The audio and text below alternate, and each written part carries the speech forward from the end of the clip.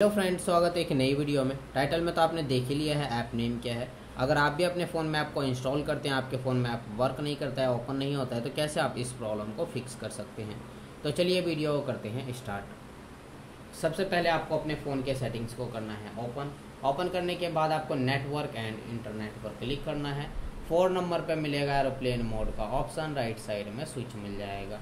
Switch पर click करके on करना है, फिर आपको ऑफ़ करना है बैक जाना है ऐप्स पर करना है क्लिक ऐप्स पर क्लिक करेंगे तो आपको ऑल ऐप्स पर क्लिक करना है। ऊपर की तरफ़ स्क्रॉल करना है, आपको देख लेना है ऐप कहाँ पर है।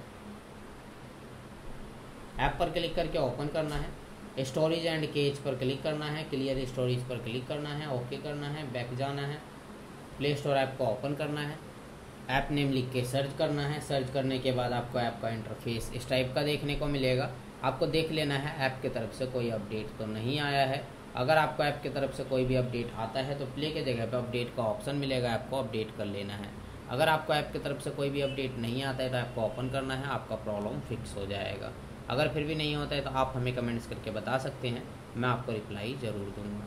और हमारा वीडियो देखने के लिए share subscribe like bell icon के बटन ज़रूर दबा दें, ताकि आने वाले वीडियो का नोटिफिकेशन आपको मिलता रहे।